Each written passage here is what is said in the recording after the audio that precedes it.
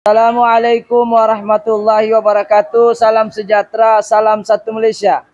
Salam keberkatan, nah, salam madani, salam daripada Borneo, yaitu kota Kinabalu, Sabah, Malaysia. Hari ini kita bersenang langsung dari 3M Auto Workshop, kota Kinabalu, Sabah, Malaysia. Kenapa sebut Malaysia? Sebab ada orang komen Sabah tu di, di mana? Ingatkan kali Sabah tu di Indonesia. Jadi saya mesti sebut Malaysia lah. Okey, jadi Alhamdulillah uh, apa-apa pekerjaan yang baik uh, kita mulakan dengan bismillahirrahmanirrahim. Semoga pekerjaan yang baik itu dimuliakan dan diberkati oleh Allah Subhanahu wa taala. Jadi apa yang kita mau share hari ini kereta lama tapi masih berbisa.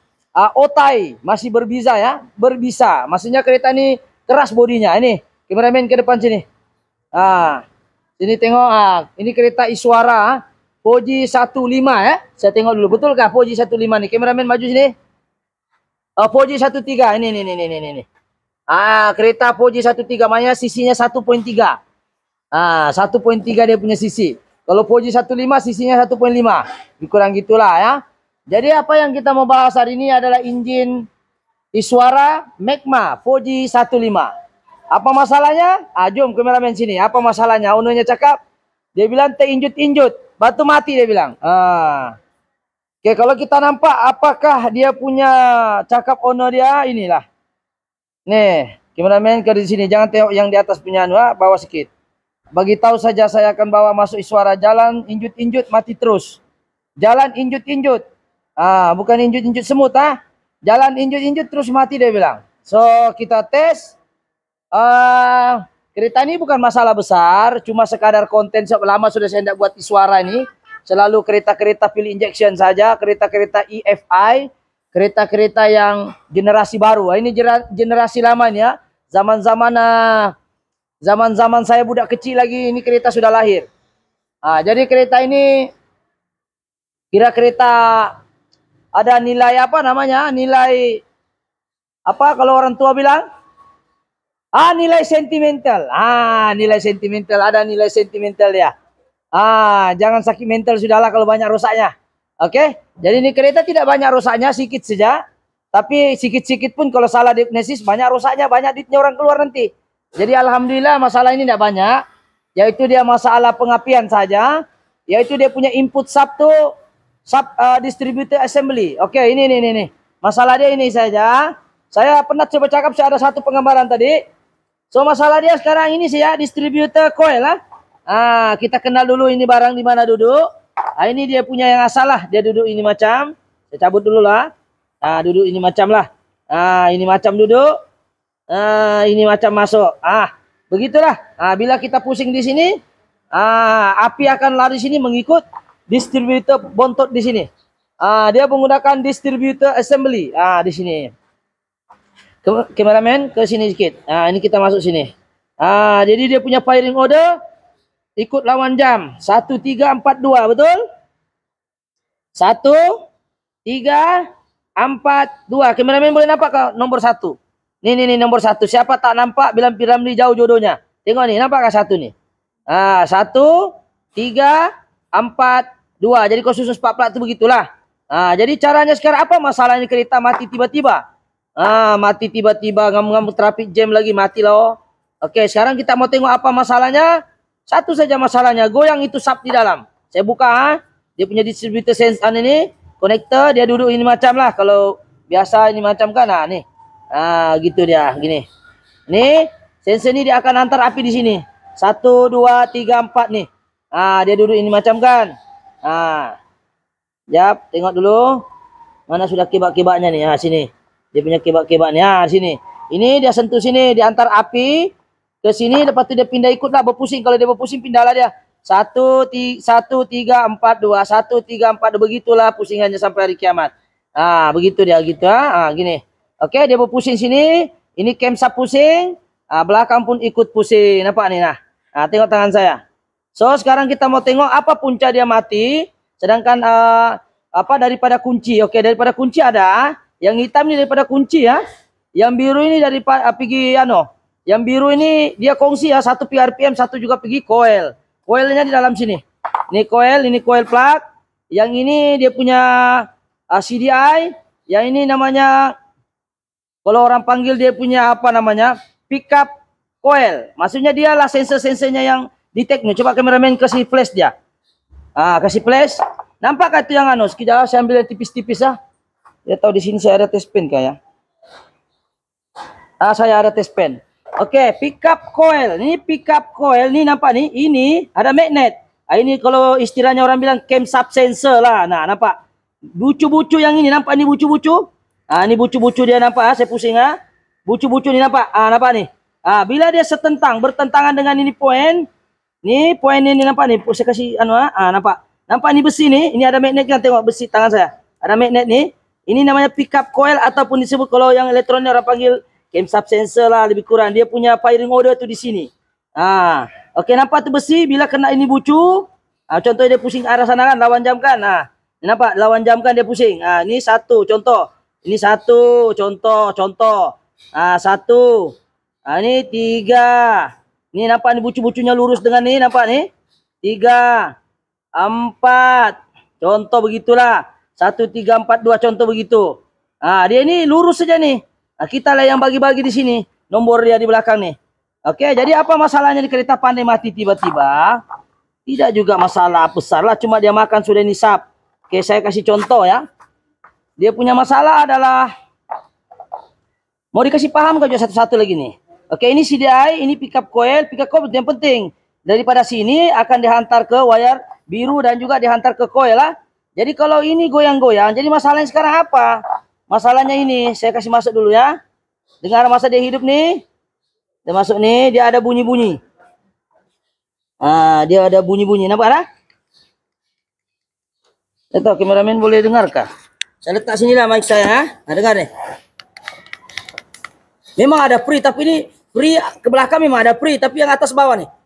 Apa? Atas bawah tidak boleh ada free. Ke belakang ini ada patut ada tapi terlampau jauh lah. Nampak? Yang ini apa nih? Ah. Pak. Ya tahu lah kameramen boleh nampak kalau saya pegang ini memang ada free lah. Nampak? Atas bawah free jauh. Sapnya sudah makan, nah sap bearing tuh. Sap nih daripada di sini ke sini tembus dia makan sudah sabnya. Jadi bila dia makan dia pandai lari-lari, lompat-lompat. Bila dia lompat-lompat itu ini nampak nih uh, pickup coil nih nih nih nih nih orang bilang kalau elektronik orang cakap uh, cam sub sensor lah lebih kurang dia punya poin begitulah. Nih nampak nih. Eh. Bila dia goyang-goyang ini turun naik, gini nampak nih peri banyak nih. Ah, dia bacaan pun lari lah, kadang hidup, kadang tidak kena goyang-goyang lagi distributor.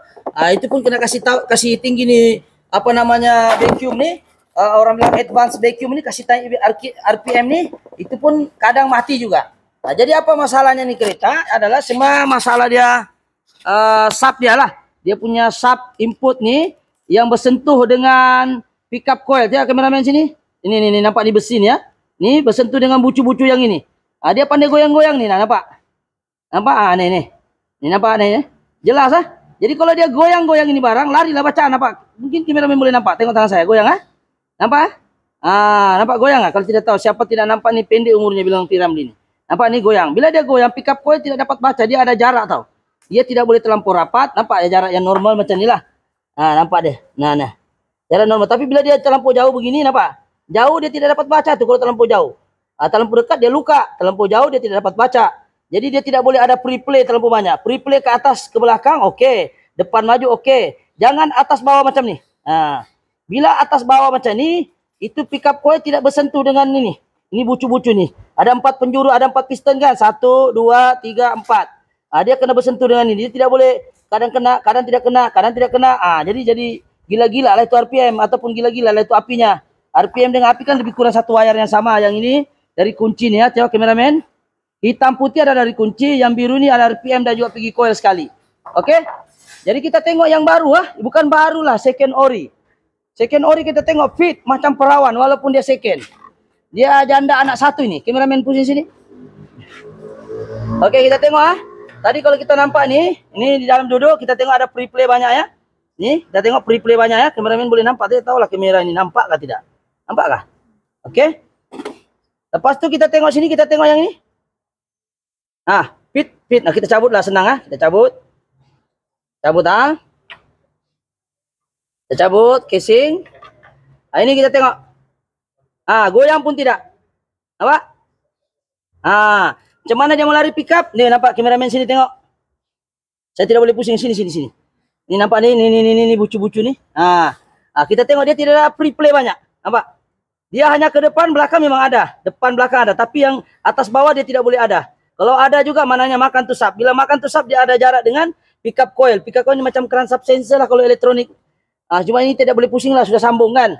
Jadi kita tengok sekarang adakah betul ini kereta setelah kita pasang second hand original, kereta ini uh, kita lantak dia berapapun dia tidak akan, kita langgar lubang pun dia tidak akan mati. Jadi kita akan tes kereta ini, kita akan pasang. So, kita pasang dulu. Alright. Betul kita pasang dia punya ni. Kita tahu mana saya punya kamera anu sudah ni. Saya punya ah, ada sudah dia datang dia punya lekuk-lekuk ni. Ha, ni. Lekuk-lekuk. Hmm. Okay. Tolong pasang. Okay, kasih all dulu aku cuci tangan. Okay, Assalamualaikum. Kita sambung. Ha, sudah pasang ya. Kameraman tidak? Kita pasang. Kamera girls. Okay, kasih flash. Okay, sudah pasang ha. Wiring kita note. 1342. Jangan sembarangan pasang ha. Meletup-letup tu. Walaupun cantik coilnya. Jangan salah pasang. 1342. Masih ikut arah pusingan lawan jam. Saya ini Enjin magma dia terbalik dia punya enjin. Nah, lawan jam. Ha, jadi kau kena ikut susunan 1, 3, 4, 2. Nah, maknanya 1, 1. Lepas tu 3 ini. 4 ini. 2 ini. Jadi kau susun pun ikut begitu. Jangan terbalik-terbalik. Kau ikut susunan macam nombor. Kau kira nombor toto. Ah, tak boleh.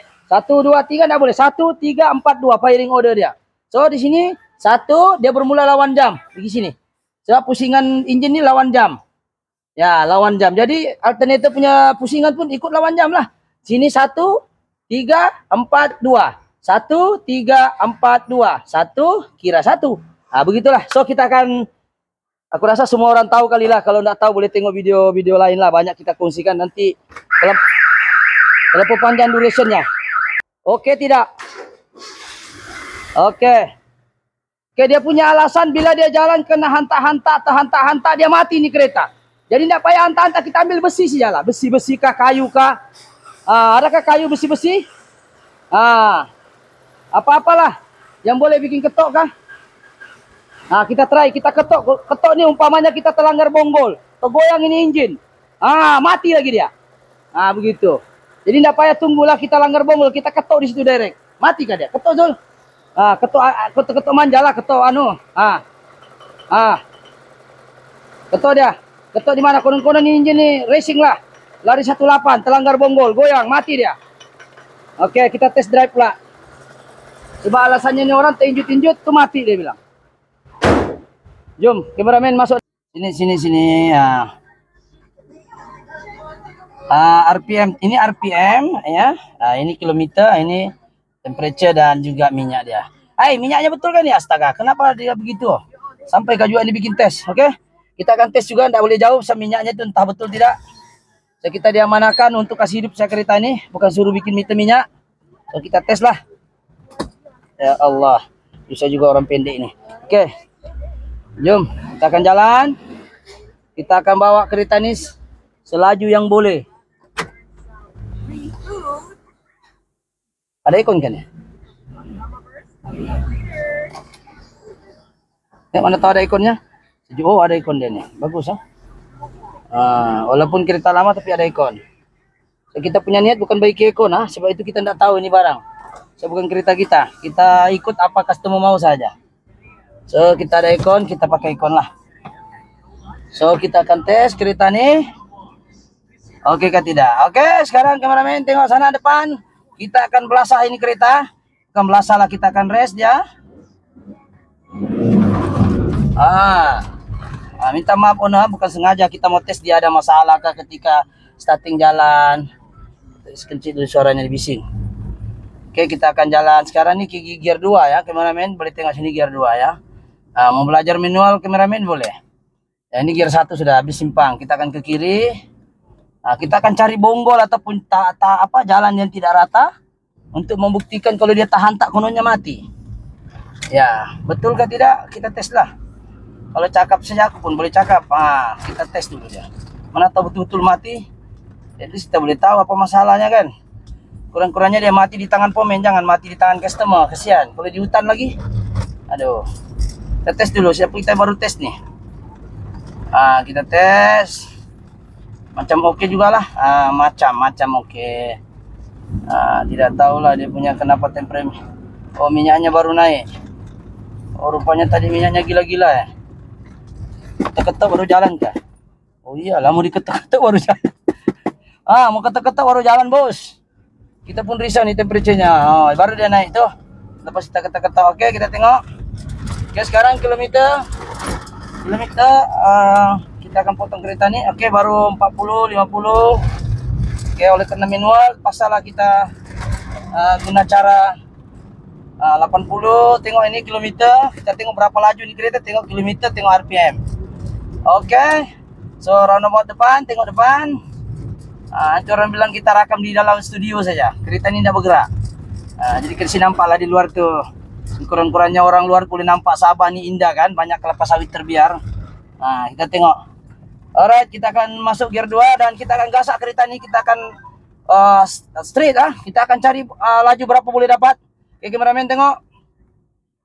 Oke sekarang gear 2 gear 1 kita emergency signal supaya orang tidak mengganggu kita dengan kita minta puji nanti susah. Oke. Oke satu dua tiga. Alright. Gear 2 tengok depan kameramen bukan tengok saya tengok sana. Sambil-sambil tengok kilometer. Sekarang lari 70 kita memotong sekarang kereta baru di sebelah kita. Alright lari 80 oke sekarang dekat lari 190 nah, jangan risau. Nah, dekat 100 Masya Allah. Aduh.